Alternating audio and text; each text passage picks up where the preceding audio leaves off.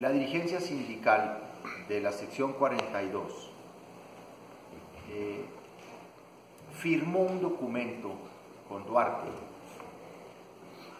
en donde prácticamente eh, desconocían la reforma educativa. De hecho, eh, pactaron desconocer la reforma constitucional y legal ese documento, con ese documento,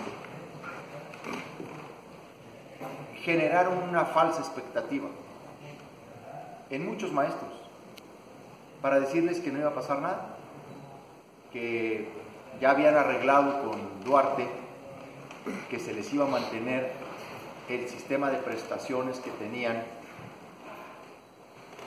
eh, antes de la reforma educativa lo cual no es cierto, no podían hacerlo. ¿Por qué?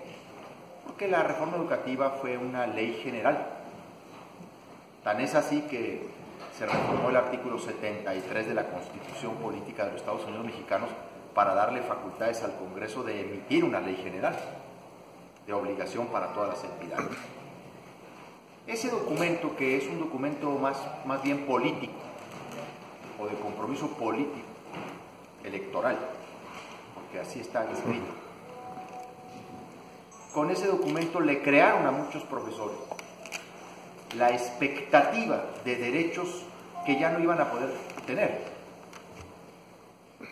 Y estuvieron manteniendo esa expectativa durante todo el resto del sexenio de Duarte y, y empezaron a manejarlo también con relación a nuestro gobierno. Esa es la verdad. Y esa expectativa fue un engaño del que tanto los dirigentes como el propio Duarte estaban conscientes, porque pues no podía negar la reforma federal, no la podían contradecir.